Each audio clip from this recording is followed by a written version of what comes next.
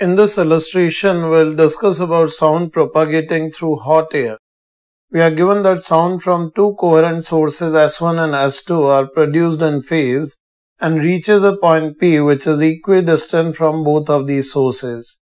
In normal air, sound speed is V and in path of sound from S1 there is a zone X of width D where air temperature is 4 times the normal air. That means the sound velocity will be doubled as we know that sound velocity is proportional to square root of temperature.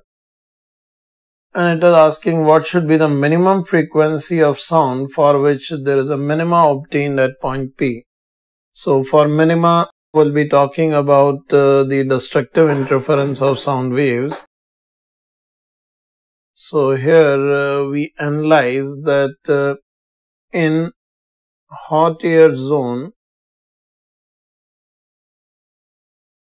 sound speed is given as this we can write as v dash which is twice of uh, the velocity of sound in air.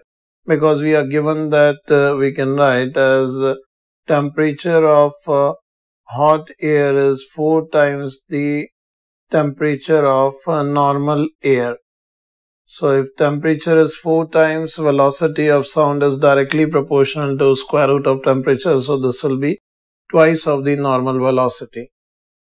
So due to this obviously there will be a time lag created when the two waves reaching at point P.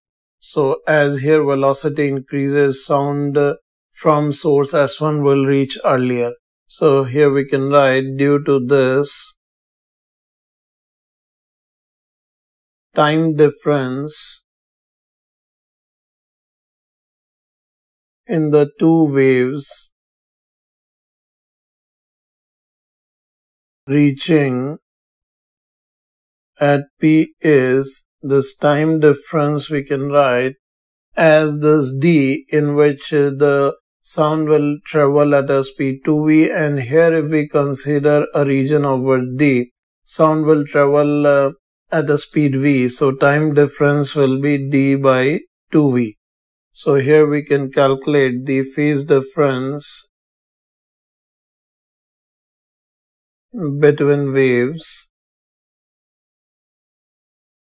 at p is this phase difference we can write simply as omega delta t that will be omega d by 2v. Now in the situation for